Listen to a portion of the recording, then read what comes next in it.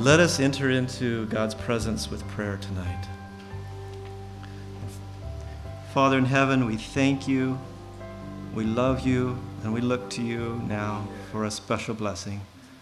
Speak to us out of your word, Father, and burn us with fire, burn the dross out of our hearts. Father, take out the earwax, and may we hear you, and may we respond to you as a woman responds to her, to her husband. Father, we look to you today. You are the great initiator. You are the great God that plans and executes plans, devises a foresight, and, and can manage all these different, seemingly unrelated plans in a way that they all come out in one massive, beautiful, large whole so that the end result is greater than the sum of each part.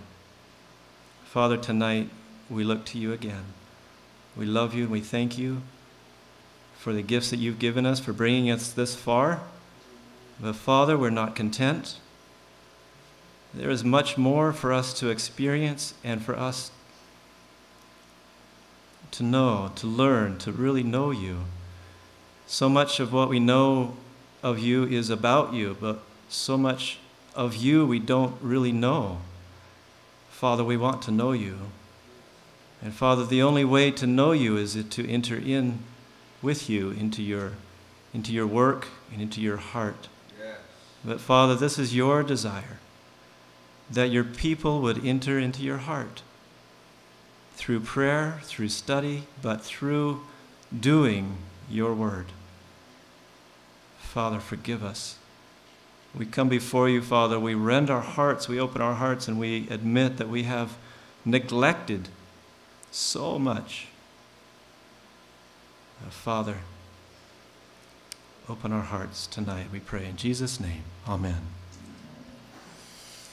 Okay, I promised that I would share what this what all this means, and I want to do that now. Is this mic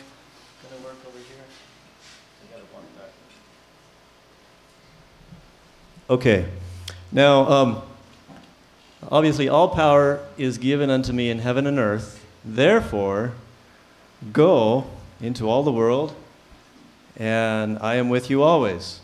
Over here in the small print, it says, Teach all nations, baptizing them in the name of the Father, and the Son, and the Holy Ghost. Over here it says, Teaching them to observe all things whatsoever I have commanded you. Very familiar passage, uh, Matthew 28 in the big G, you'll see a pie graph. Uh, you've got um, the 15%, this, this green is uh, more than 15% of the population is Christian. Okay, so this is considered kind of the Christian countries. And um, over here, you'll see the colors of the world, or colors in the world, actually match this pie chart. So you can see the distribution of the Christian countries. Now, this includes Catholicism as, as Christian. And so that's why you have so much of South America uh, considered Christian. Then the blue here is 5 to 10%. You can see that scattered throughout the world. Is a very interesting uh, uh, point to make is, is China is actually no longer an unreached country. The house church in China is growing tremendously over the last few years. You can read about that in, in uh, Brother Yun's book, um, Heavenly Man. And then down here is the 2 to 5%, the yellow, it's hard to read, but anyway, 2 to 5%, you can see Russia and some parts of Africa. And then this big re red region here is the unreached. And you can see that the majority of the unreached is over here in what they kind, kind of call the 1040 window. The majority of the world's population is in this area, and the majority of the unreached population is in this area. So that's kind of what this, this little thing all represents. So what's the 5 to 10%? 5 to 10% is this blue, the blue stuff. Well, 5 to 10% Christian in the population. Yeah, so that's kind of like the emerging church. This is, this is just newly entered, the emerging and kind of the established church countries. Um, now, this O here can represent all of Christian giving. In other words, all the giving that is given by Christians in a typical year. And this little divot here, this little wedge here, represents how much of that Christian giving is given to reach the unreached. so the majority of the Christian giving is, is going to reach Christians already. Um, a small example of that is in North India. This last November, December, we were able to go up to North India and uh, do a two, uh, about four weeks about a four week tour up there, and Adel and Jose will be able to share the pictures and the experiences of that. But what an incredibly unreached field. Almost complete neglect. I mean, 650 million people in the North India Union alone. That's double the population, more than double the population of all of North American Division. They have 97 pastors. 97 pastors. That's, and what's sad is that the, the church we, has been up there for over 100 years. It's just completely neglected. I talked to one of my friends there, Sanjay Singh. He's actually a Jesus for Asia Bible worker. And he's in charge of 1,300 church members scattered throughout 22 villages, not a single church, much less than half of them have Bibles.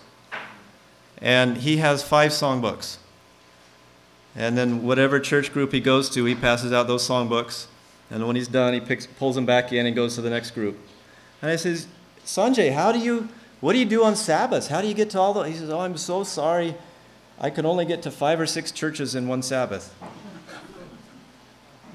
he, he, he rides a bicycle. So before he had a bicycle, he could only get to th- two or three. But these guys, they'll, they'll ride 30, 40 kilometers in a day to go around and do the visitation and, and build up. And, and, but he's encouraged. I asked him, How do you feel about your work? He says, Yeah, God is with me. He's encouraging me. But there's a huge, tremendous field out there. Amen? Yes. Tremendous field. How in the world is this going to happen? If we look in Matthew 24, many of you are very familiar with Matthew 24, the great statement of Christ about what's going to happen and what's, what it's going to look like in the end time. It says, uh, You will hear of wars and rumors of wars, but see that you're not frightened or troubled, for this must take place. But the end is not yet. What signifies the end? What is it that Jesus says will bring the end? When the gospel is preached to all the world. Now, I personally believe, come to conviction, that the world will continue to get worse and worse and worse until the gospel is preached to the end of the world, to all, the, all parts of the world. So we see all these wars and rumors and the, and, the, and the stock market falling and all these things happening. We see that the earth is coming to a place where it's no longer going to be able to sustain life, where the lifestyle that we have today is not going to be able to be supported anymore.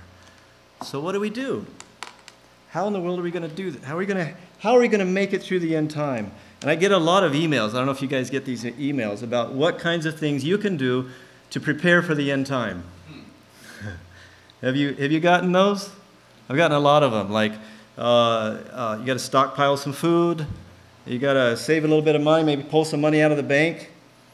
Um, put some somewhere where, where, where it's safe. All these kinds of things. But I, wanna, I want to present to you tonight a different perspective. And I'm hoping that you'll consider this perspective as you plan for the end of the world. How to survive the end of the world. And this was brought to my attention. I want to go through an article written by Ellen White. This was brought to my attention by brother John Elliott a couple years ago, and it totally blew me away. This is found in early writings, and it's called, it's an article called Duty in View of the Time of Trouble. And she says, The Lord has shown me repeatedly that it is contrary to the Bible to make any provision for our, our temporal wants in the time of trouble. Really? I was blown away with that because I had always heard that you get a little house in the country and you get a garden and you live like a king through the time of trouble, right? But this is saying that it's contrary to the Bible to make any provision for our temporal wants. What's our temporal wants? Our food, our housing, our clothing, all those things. It is against, it is contrary to the Bible to make any provision, any planning, any provision for ourselves for our temporal needs or wants in the time of trouble.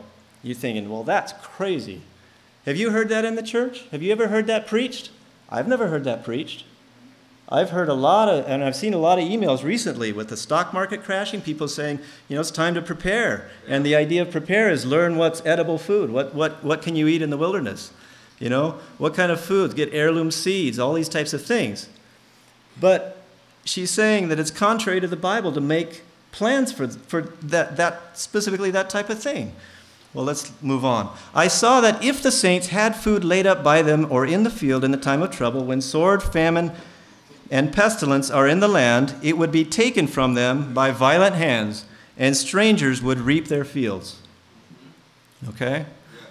And what if you had a nice nest egg in the bank? What would happen to that? Gone. Actually, it would just like become worthless. So, um, then will be the time for us to trust wholly in God, and He will what? Sustain us. I saw that our bread and water will be sure at that time. Okay? Notice that he only promises bread and water. Yeah. You ever tried to live for a week on just bread and water? No peanut butter, no vegetables, nothing, just bread and water? That's pretty slim pickings. I tried that for a week. I ended up with fruit cocktail and bread, you know, and water. I couldn't handle the bread and water. I got a ways to go. And we shall not lack or suffer hunger, for God is able to spread a table for us in the wilderness. Now, that's an easy statement to read. It's an easy statement to think that's a theory. But is it real for you? That, brothers and sisters, is the test. That's the test that we'll all, we're all going to have to face.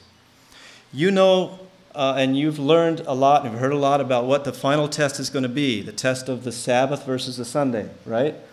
What's the flip side to that test? that if any man worship not the beast, he cannot buy or sell.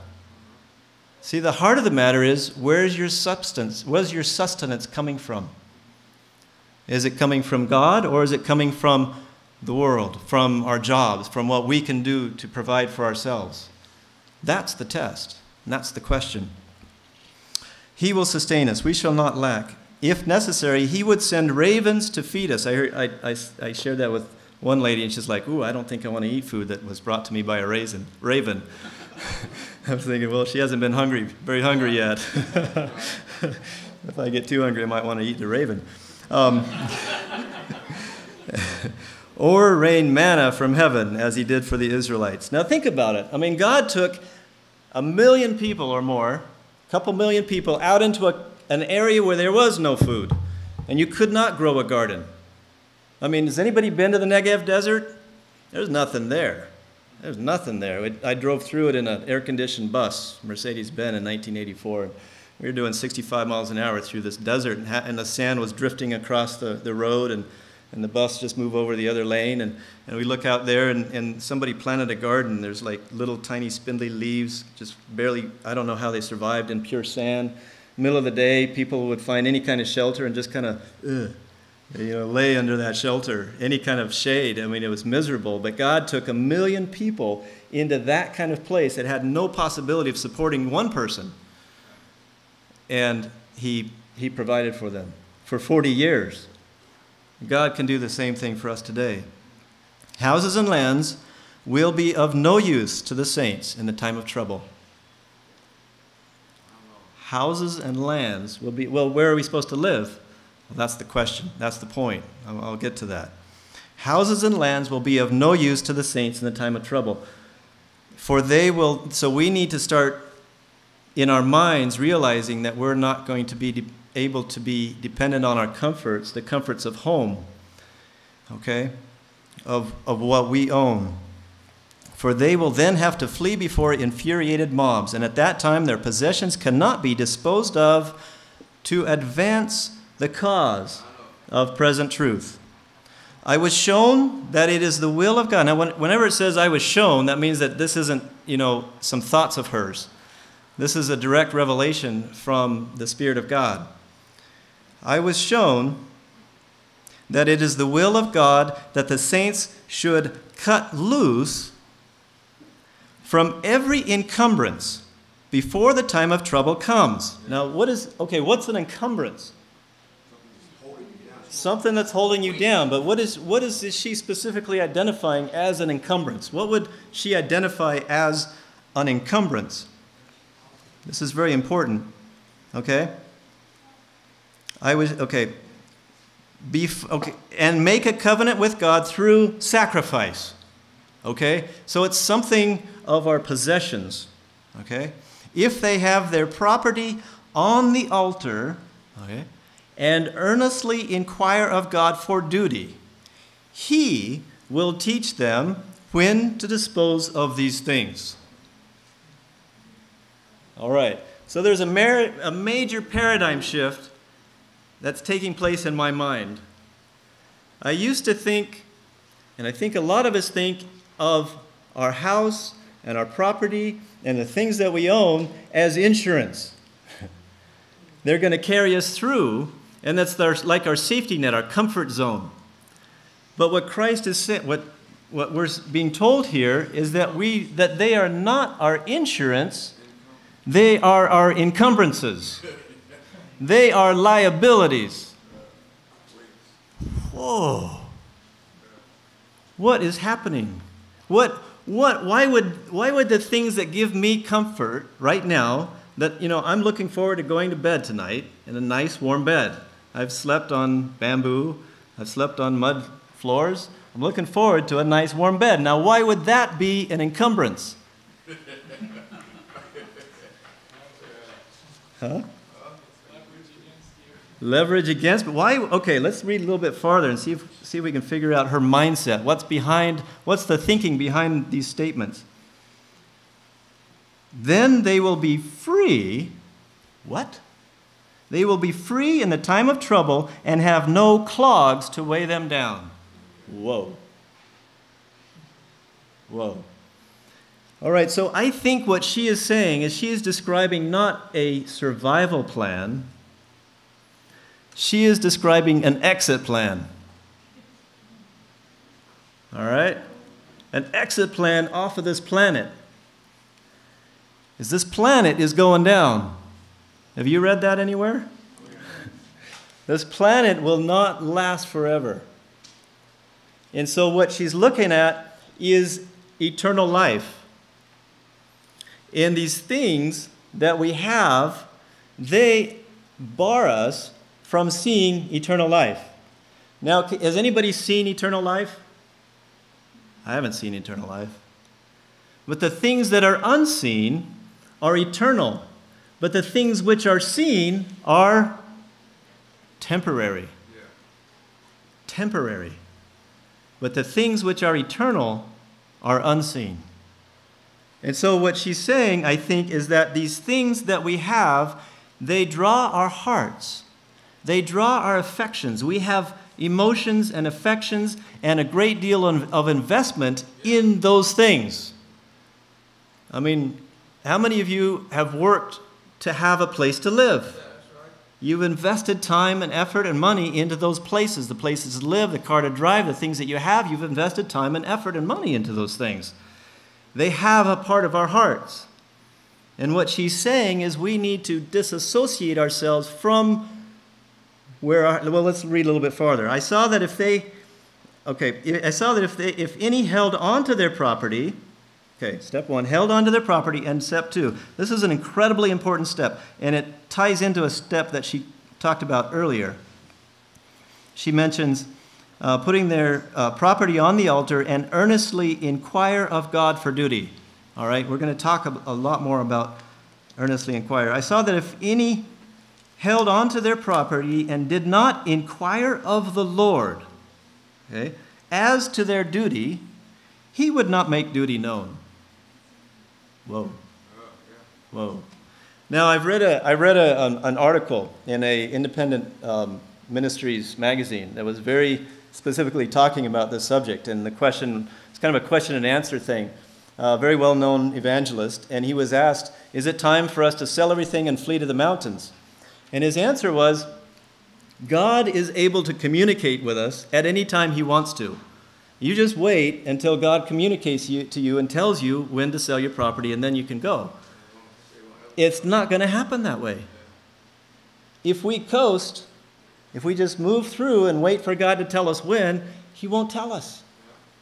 He will not tell us. It says we must earnestly inquire of the Lord for our duty. What does that mean? I mean, Lord, please uh, help me to know when to go. Uh, you know, help me to know when to move into the country. uh, and uh, thank you for the food. Amen. Is it like that? I don't think so. I don't think so. There was, when we were um, looking at, at, uh, at starting our ministry, it was 2004, and I had decided that um, after the, I was teaching at PUC, and I had decided that after graduation, uh, we were going to pack up and we were going to move to Thailand. And we're going to just jump out by faith. We're just going to go by faith, and God was going to catch us and He was going to take care of us.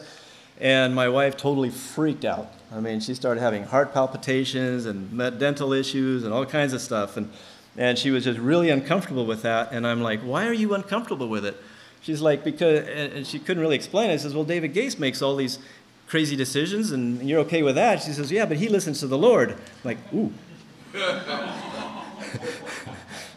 okay. All right. So um, we decided not to go at that particular point in time. but I decided that I wanted to go, and I started realizing and started reasoning through my motives. You know, we need to look at our motives. We need to analyze and bring our motives into the Lord's light so that He can show up our motives and cleanse our hearts. A lot of times we want to get a job done, He wants to get a character built. And so I started um, analyzing that. And I realized half of me just wanted to get out of the job that I was in, do something different. So that half of me, if it was my decision, I knew I would be half unhappy in the place where I went. When I'm fully committed and I know that God wants me to be in a particular place, then I can be fully happy. If I'm 90% sure that's where God wants me to be, and 10% sure or thinking that that's what kind of like what I would like to do, in other words, if 10% of my will is involved in that decision, then I'll be 10% unhappy. And that 10% has a tendency to kind of grow kind of like a little tiny burr under the saddle of a horse. You know, a little tiny thing, but it sure makes a big problem. And so I decided, you know, I'm not going to go do anything. I'm not going to make any decision of where we're going to move until I have absolute clarity that this is God's will. And so for six months, I started praying morning, noon, and night. And I started praying morning, noon, and night every morning. And I would I'd spend um, you know, 30 minutes to an hour to two hours begging God to show me what He wanted me to do. Because I wanted to work for Him, but I wanted to make sure that He was calling me. Have you ever had somebody come and, get, and try to get hired at your company and not go through the interview process, just show up one day and says, I'm going to work for you? I think that's sometimes a lot of uh, what we, what we can do. You know, God calls us to work for Him, but He would like to be the one that tells us when and where to work. And so I started asking, I said, Lord, I, and so many times I would reason through, okay, this ministry would be so cool, and it would be, do such a good job, and, and man, that would, that would just make a big boost to God's church. So I'm going to go do that. I'm going to ask God. And So I'd be in there, and I'd be praying and asking God, and, and I'd start realizing that and, and I think, oh, okay, God, I've gotten God's answer by faith. By faith, I've gotten, I've claimed God's answer to that question. And then I start to realize that that was my imagination, you know? That was a pro- product of my own thinking. And I says, Lord, I want to have an answer from you, knowing that it's not from my own thinking. Okay? But I, you can't give up. You can't give up in prayer. We have not because we ask not, and we, and we give up too easy. You know? God wants us to ask Him, but He doesn't always give us, in fact, He rarely gives us the answer right away because He wants us to go through that refining process of, of prayer and, and coming into communion with Him and refining our hearts and our desire and purifying our motives. If we give up, that short circuits that whole process. Okay? Let me, let me back that up again. Coming into prayer, asking God for something, whether it be a direction in life or a purpose or a change or an understanding, if we give up without an answer, it short circuits God's process of refining us. Okay? Now, a lot of times we're afraid of, I'm afraid of entering into deep prayer because I'm afraid that, you know, there's some, something bad with me that God's going to expose and it's going to be painful and all that kind of stuff. God's not like that.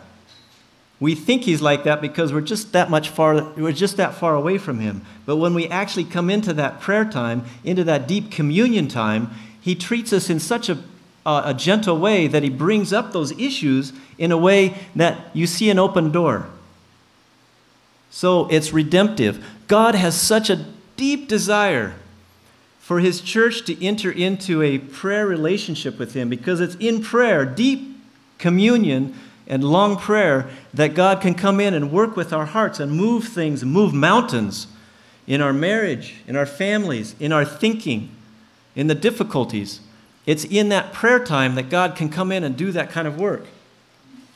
And so here she's saying, if they have their property on the altar, that means in our hearts, placing it in God's hands is saying, This is a sacrifice. And earnestly inquiring of God. In other words, entering into a pleading uh, relationship with God, saying, God, what should I do?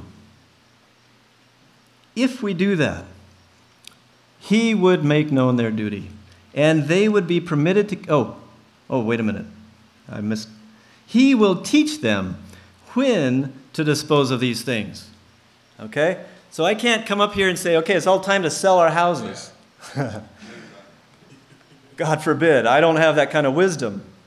The beauty of this plan is that God can, if God is in charge of each of our lives, he will manage us so that we are blessed, others are blessed, and we have maximum benefit all the way through the end of time. Amen? See, I don't know when to sell. And if you read this a little bit earlier, it says, um, It is the will of God that the saints should cut loose from every encumbrance after the time of trouble? Before. Before. Now, do you know when the time of trouble is coming? No. I have no clue. God knows. He's the only one that can tell us when to sell. But there's more to it than that. We'll keep going. I saw that if any held on to their property and did not inquire of the Lord as to their duty, he would not make duty known, and they would be permitted to keep their property. And in the time of trouble, it would come up before them like a mountain to crush them. Ouch and they would try to dispose of it, but would not be able. I heard some mourn like this. The cause was languishing. Oh, brothers and sisters, the cause is languishing. God's people were starving for the truth, and we made no effort to supply the lack. Now our property is useless. Oh, that we had let it go and laid up treasure in heaven. Okay, treasure on earth, treasure in heaven. Treasure on earth, treasure in heaven. What's the treasure of earth? Houses, lands, witches, money. Treasures of heaven? What? Souls. Souls. That's a that that's awesome. Okay. In fact, Luke 16, read about Luke 16, the unjust steward. You know, Jesus says, therefore, use your unrighteous money uh, to make friends so that they, when you, when you run out, when your money ceases, when you cease, they will welcome you into heavenly habitations. Amen? There's other friends besides souls saved. It's the angels. You know, the angels are out there ministering, and they're calling us into their into co-working together with them. And can you imagine if we've been working with them throughout our life, and then we get to heaven, their response, "Oh yeah, hey, come on in, bud. I remember you. Remember when da da da da. You know." What if we're like, what if we don't join them in their work on this earth, and then we get to the gates, and they're like, "You know what? You didn't help me at all." And you want the dessert. you think they're going to let us in? I don't think so. The cause was languishing. God's people were starving for the truth, and we made no effort to supply the lack. Now our property is useless. Oh, that we had let it go and laid up treasure in heaven. I saw that a sacrifice did not increase, but it decreased and was consumed. I think what she means there that a sacrifice not given if, we hang on to it, it'll just get smaller and smaller and it'll just disappear. Um, I also saw that God had not required all of his people to dispose of their property at the same time. But if they desired to be taught, he would teach them in a time of need when to sell and how much to sell. Isn't that beautiful? We shall all be taught of God if we, if we desire that teaching. Some have been required to dispose of their property in times past to sustain the Advent cause, while others have been permitted to keep theirs until a time of need. Then, as the cause needs it, their duty is to sell. I saw that the message, sell that ye have and give alms, has not been given. I've, I've, I've, I've read this recently in pretty prominent magazines. You need a place to live. You know, don't sell your house. You need a place to live.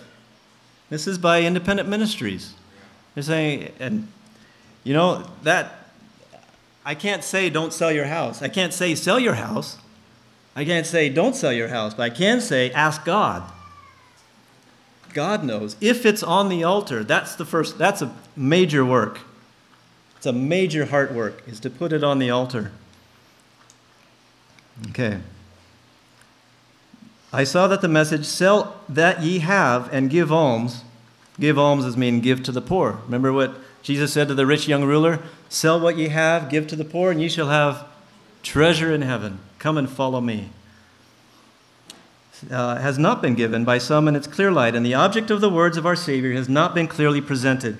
The object of selling is not to give those who are able to labor and support themselves. So that's not the purpose of, of selling. We're not looking to support other people, but we are, eh, we, the object is to spread the truth. Spread the truth. It is a sin to support and indulge in idleness those who are able to labor. Some have been zealous to attend all the meetings, not to glorify God, but for the loaves and fishes. Such would much be, be much better have been at home laboring with their hands the thing that is good to supply the wants of their families, and to have something to give to sustain the precious cause of present truth. Now is the time to lay up treasure in heaven and to set our hearts in order, ready for the time of trouble. Those only who have clean hands and pure hearts will stand in that trying time. Now is the time for the law, law of God to be in our minds, foreheads, and written in our hearts. Pretty powerful stuff, isn't it? Why would God want us to sell? Why would He develop a plan like this where we would need to let go of our property? Because it seems like such a good plan if we were able to hang on to our property until the very last minute, and then in the time of trouble, our property would be wrenched from us, and then we would go through a short time of trouble, and then the second coming, and we'd be delivered. I mean, isn't that the normal way, kind of the mentality of thinking? Is we hang on to what we have, we make it through the time of trouble, and then the Lord comes and snatches us out. You know? Let's look at a couple of texts. let's look at, um, let's go to Matthew 24 again. Okay. Matthew 24, verse 45. This is end time scenario, okay? It says, Who then Okay, you also must be ready, therefore, for the Son of Man is coming at an hour when you do not expect him. Who then is the faithful, thoughtful, and wise servant whom his master has put in charge of his household to give to the others the food and supplies at the proper time? Now, what is give others the food and supplies at the proper time? Isn't that present truth? Okay? Blessed is that servant whom, when his master comes, he will find so doing. So doing. Okay. What is God's let's let's let's go over to Matthew 25. Now, you know Matthew 25, we start out with the 10 virgins, and then we go into the talents, parable of the talents, and then we go to the sheep and goats in the judgment time. Okay? The sheep and goats, remember what Jesus said? Depart from me, I never knew you, for I was an hungered and you did not feed me. I was naked, you did not clothe me. I was hungry. You know, that kind of thing. Okay? It has to do with doing something. Now, in the sheep and the goats, the judgment was not based on you didn't understand the, the, the 12th doctrine of the fundamental beliefs. He didn't say that. That's not what it's about. You didn't understand all these doctrines. You did not minister to me when I was, in, when I was suffering. Therefore, I don't know you. Okay. Now let's go back to um, the second one the talents. The talent, the, the, Lord placed talents in the hands of his servants, then went off to uh, on a long journey. Okay, he came back and he expected a increase in the talents. The first one, the one that had five, he got another five, and the Lord said, "Thou, uh, you know, blessed and happy are you, the good, well done, thou good and faithful servant." The one that didn't do anything ended up with damnation. Okay, and so um, if we apply that to today, God has given us talents and resources, time, energy, uh, abilities, all these different things. He's given that.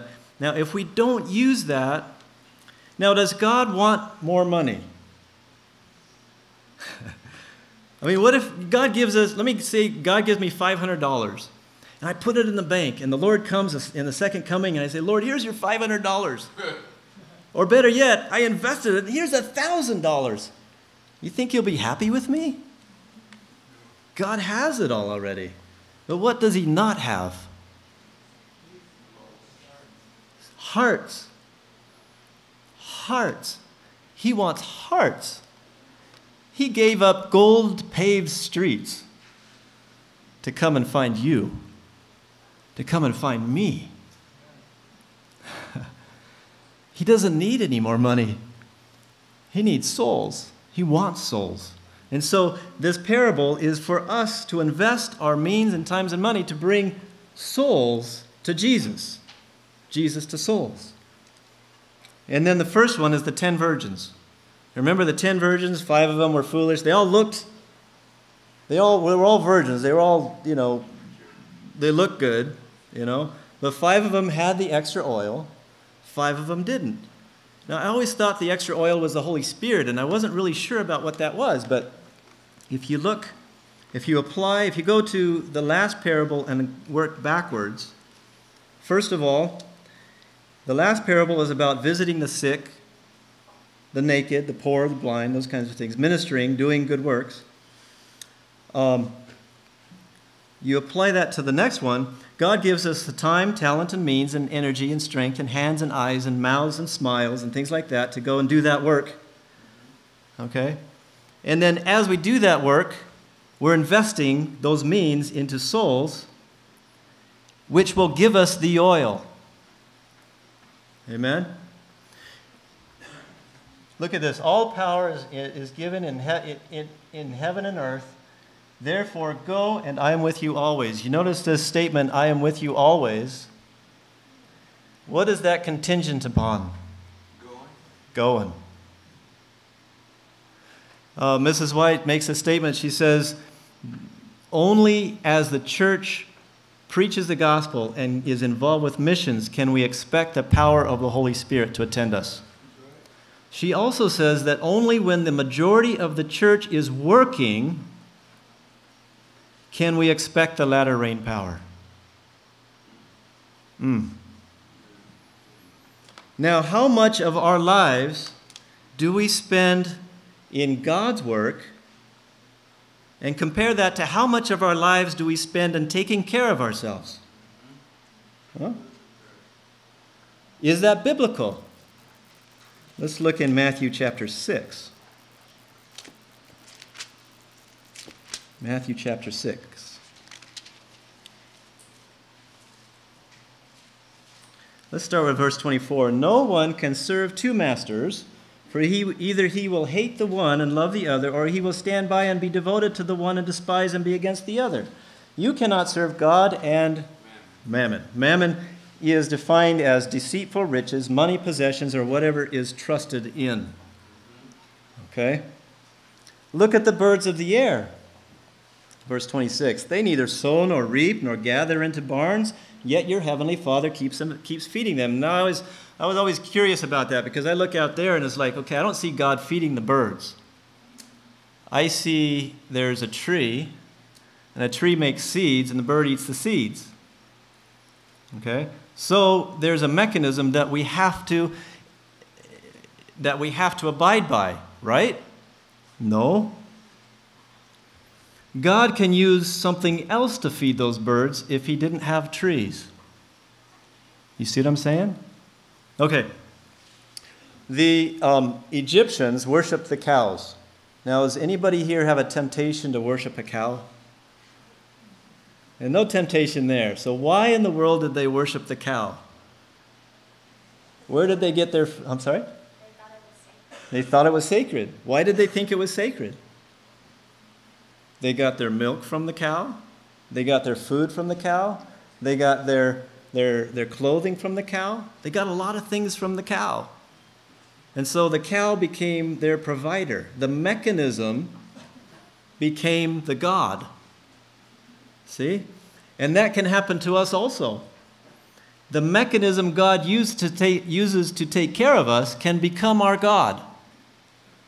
Now we look around and we say, okay, I've heard, I hear this all my life. You got to get a job. You got to take care of yourself. Got to take care of your family. Well, that's one mechanism God can use to teach us and, and to support us. But He has other mechanisms. He has other ways of doing it. As a matter of fact, if he, sorry? A thousand other ways. That's just one. So there's 999, well, thousand ways we don't know of. So there's a thousand and one ways that he has. But we say that's the only way. Now, what has God called us to be? A nation of priests.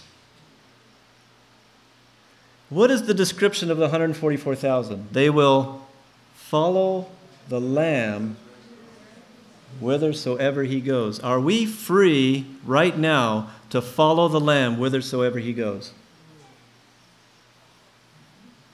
If not, then what is it that's standing in our way? And that may be our God. Matthew 6 33. But seek ye First, a good education so you can get a good job and take care of yourself and take care of your families and put 10% to God's work. Is that what it says?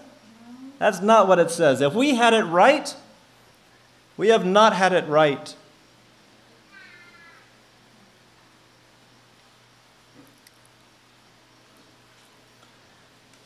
And a lot of young people, I'm jealous of the world, brothers and sisters. I'm jealous of the world because I see our young people going into the world and devoting their time, their energy, talents to get a job to build up the world system. And we've got 40, no, yeah, 40, 45% of the world is unreached. Where is our heart? Where is our treasure? Where our treasure is, there is our heart. If you would, and I hear Sabbath after Sabbath throughout my life, people having a desire to get close to God. And that's good. The best way, the most sure way that you can get close to God is sell all that you have, give to the poor, Come and follow me. You will have treasure in heaven. That's what it's all about. But it's not just selling, it's the work. Christ was, when he was here on this earth, was he busy or was he idle? He was busy. He wasn't necessarily busy just because he was doing lots of stuff, okay? Because we can get busy and not do, any, do anything useful. He was busy. He, was, he, w- he had the life flowing through him, amen? If we really want to get to know Jesus, we've got to work with him. You know, it's like if I'm, if I, let's say I'm a ditch digger. I dig ditches eight hours a day, 10 hours a day. Now, if my son really wants to get to know me, he's not going to stay at home and wait for me to get home every day. Because his picture of me will be a guy that's dirty in the, mor- in the evening, maybe clean in the morning, dirty in the evening, tired and sweaty all the time, have no clue what I really go through during the day. If he really wants to get to know me, he'll come out, he'll work, he'll dig in a ditch, he'll grab a shovel, maybe a smaller shovel, and start digging. Then he'll get calluses on his hands. Ooh, my daddy must have lots of calluses. You know, Jesus had a lot of calluses on his hands, on his heart. If we want to be like Jesus, we will work as Jesus worked. It takes a great deal of humility, a great deal of humbling ourselves. And Mrs. White, she's, uh, John 15, it says, Jesus says, I am the vine, ye are the branches. Unless ye abide in me, you can bear no fruit. Mrs. White says, along with the attaching to the vine comes a painful detachment from the world. Brothers and sisters, I'm not here to say, let's find a better way to live. I'm here to say, let us abandon our human ways of living. Let us seek God. This, I believe, we don't have a whole lot of time left. You know what I'm saying? Not just because the world's going to end, but because God can use other people. Okay? And if he passes us by, let's look at Luke 14. Luke chapter 14.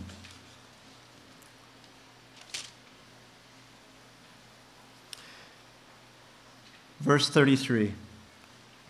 Let's start a little bit earlier. 25, verse 25. Huge crowds were going along with Jesus, and he turned and said to them, If anyone comes to me and does not hate his own father and mother, and likewise his wife and children and brothers and sisters, yes, and even his own life, he cannot be my disciple. Wow. I'm glad he said that because I could never say that. But Jesus, Jesus, this is Jesus talking. Whosoever, whoever does not persevere and carry his own cross and come after me cannot be my disciple. It's not an option. For which of you, wishing to build a farm, does, farm building does not first sit down and calculate the cost to see whether he has sufficient means to finish it? He's, he's asking the question, you guys, if you really want to follow me, you got to count the cost.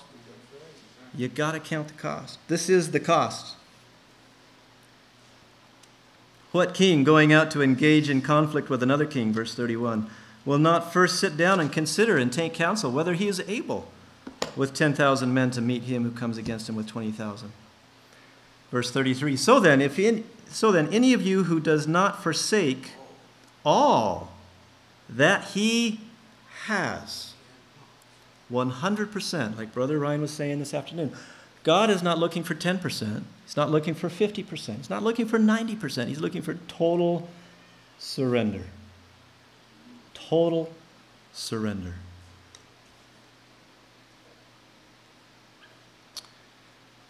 Any of you who does not forsake all that he has cannot be my disciple. Wow. You know what the. Um, paradox to this whole thing is? That in total surrender comes total joy. In total surrender is the victory. In total surrender is the joyous Christian life. In a 90% surrender is a miserable life. Amen? That's like a guy that's swinging across a canyon. And he gets to the other side, like, ooh, I don't want to let go. So he ends up swinging, and he's always hanging there.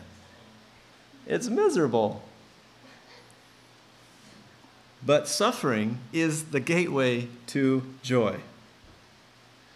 Total surrender is the gateway to joy. So, what Jesus is asking us for is basically give up everything so that I can give you everything, so that my joy can remain in you. He's not asking us to do something like, okay, kill yourselves for eternity. He's saying, give up the things that keep holding you back. Give up the things that are holding you to this earth that's going to collapse. Give up the things that, that we, it's like, you know, like if a little boy had only a sandbox and a little red matchbox Corvair, Corvette to play with. And he grew up 16 years of his life with just the matchbox. 16th birthday, his father drives up with a red full size Corvette. Okay? And the father says, I'll trade you.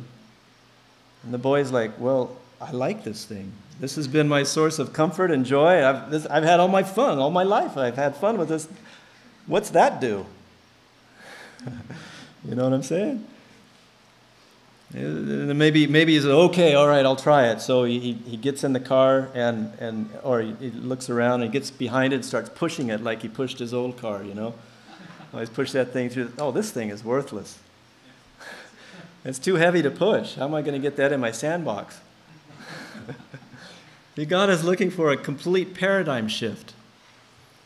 Complete paradigm shift to put our sights higher but we must be sure that we do not accept the gospel for the sake of the benefits of the gospel. Now, first, as young Christians, we may come into that, and Christ attracts us with the benefits of the gospel. But if we stay there, it becomes a selfish thing. It becomes a prosperity gospel. The spirit of the gospel is self sacrificing love.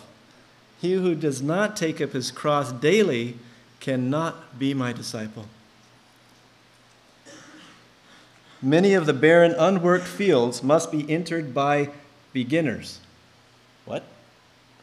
The brightness of the Savior's view of the world. I look at this and I get really depressed.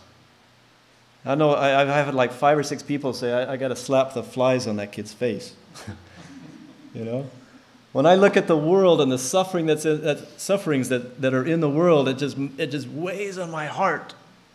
It just depresses me. But when Jesus looks at the world, he, this is a statement, this is amazing.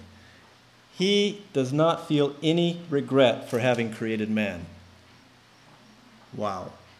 And he looks at the world and he is excited because he sees in men and women not people that are oppressed, but he sees the possibilities of what they can become. Can you imagine what if that little baby, okay, snot running out of his nose, rice on his mouth? Let's say somebody gives him the gospel, and a million years from now, he's the choir leader. And he stands up in front of the billions and billions of angels and people and from unfallen worlds all over the place, and he lifts his arm and starts the choir. How would you feel um, if you were the one that gave the gospel to that kid? It's a, it's a, many of the barren, unworked fields must be entered by beginners. Okay? Beginners. The brightness of the Savior's view of the world will inspire confidence in many workers who, if they begin in humility and put their hearts into the work, will be found to be the right men for the time and place. God, quali- God qualifies the called, He doesn't call the qualified. Okay? Christ sees all the misery and despair of the world, the sight of which would bow down some of our workers of large capabilities with a weight of discouragement so great they would not know how even to begin. They would stand above the lower rounds of the ladder, saying, Come up where we are, but the poor souls do not know where to put their feet. So many of the barren, unworked fields must be entered by you and I, by beginners. Beginners, children, children in our hearts. God is so good. Oh man, you know what? I'm amazed because God could God could finish this work with angels. Remember in the Bible text he says, "I will give nations for you." God is letting 100,000 people die without Christ every day because he wants so bad the blessings of taking the gospel to them to be given to his church. There is so much blessings in taking the gospel to his people that don't know it that God is waiting for his church to do it because he knows there's, there's so much blessings there. The blessings are in becoming like Christ, having a rich experience, having testimonies, and developing a character which will fit heaven's society. That's a whole nother topic. We'll get in. Uh, pray, pray. This is all about character development. You know, we look at that and we say, we just want to get the job done. But God wants to develop character. He wants to develop his glory in us. And He has given us the job in which to do it. First in our marriages, in our families, and in the world. How can we neglect that job? How can we ignore that job? He will not force us. He's not a taskmaster. He gives us a big open door. But we have to push. We have to push. He has shown us His love, and He expects an initiative on our, from us, an initiation from us, a response from us. You know, when I started dating my wife, you know, I, I showed her my interest. If she had not responded, I would have lost interest in her pretty quick. Well, I mean, not very quick, but, you know, after a while I would have lost interest in her, okay? But when she initiated an interest back, that's when we began a relationship. Now, God has given us so much. He abandoned the comforts of heaven to be born in a, in a feed trough, in the mud and dung in a very dangerous situation. He put, his, he put himself in, in, in harm's way. He put himself in a bodily dangerous place. If we want to be like him, should we not do what he does? Should we? America and the North American division, we, me, are almost unfit to take the gospel to the world. We are almost unfit when I look at going to North India, I'm like, oh man, I gotta, I gotta eat all that oily food. I'm not gonna get any hot showers. It's gonna all be cold showers. Okay, and the, and the driving is crazy. You know, it's like, where am I gonna sleep? You see what I'm saying? We are almost unfit. And there may be some, some trouble up there, some political turmoil, political unrest. Oh, we can't go now.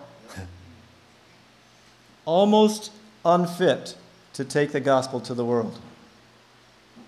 We've been focusing and, and pursuing comfort, and the world has been dying in misery.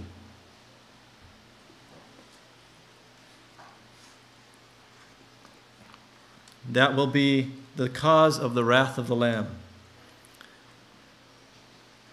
You know, we see that as our job to do so that we can go home, but how does Christ see it? Christ sees his own children over there dying, and many times we hardly raise a finger to help. How would you feel if your own child was out freezing in the snow and, pastor, and people were passing him by and didn't stop to help?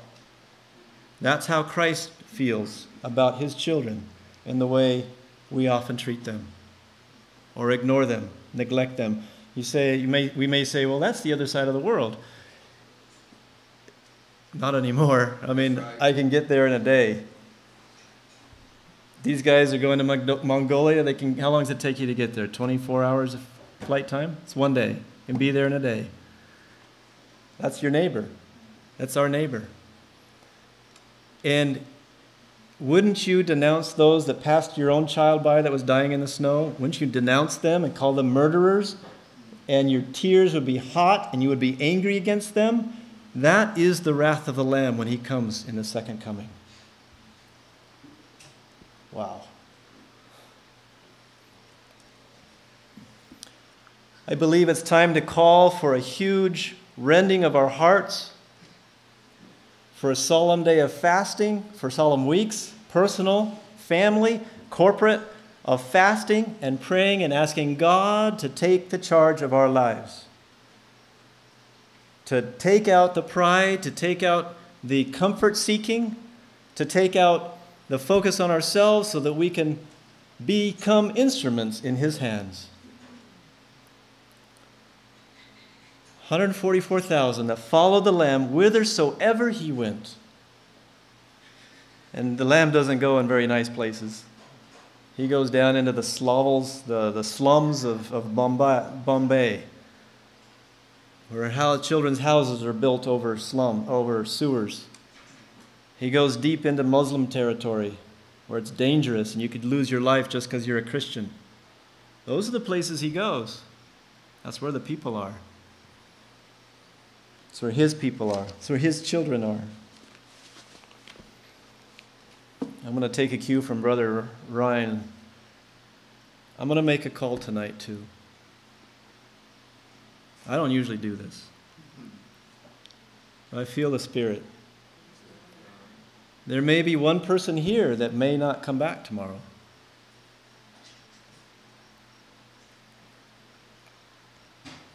And I want this call to be Lord, I, I may not be willing, but I'm willing to, be, to pursue being made willing. Not just wait, oh, let go and let God. Okay, God, I'll, I'll just wait here until you make me willing. To pursue God until He makes you willing. To initiate an active pursuance of your lover lover of our souls. If you would like to make that request of God tonight, please stand up and we will pray.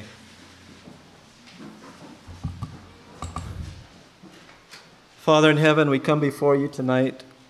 Our hearts are broken. We see your call. We've read the challenge that's in the word.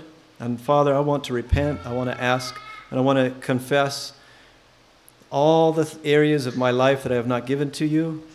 Father, the, the self seeking, the times during the day when I'm looking at my own situation and I'm kind of complaining and all that kind of stuff. Oh, Father, and I look at, at the work that needs to be done out there and I just feel this, this huge tiredness coming over me. Father, I lose sight of you so often. And all I focus on is my own comfort. Father, and we as a church, we as a group of people, we have not done everything that we can we have not forsaken all. Father, you are asking us to do that, and we do want to be there in heaven, and we want to have the joy of Jesus in our hearts now. Father, everything that we have, all that we have, we know it's already yours. We put it on the altar, and we ask that you will make us willing to enter into that process to enter into that refining fire.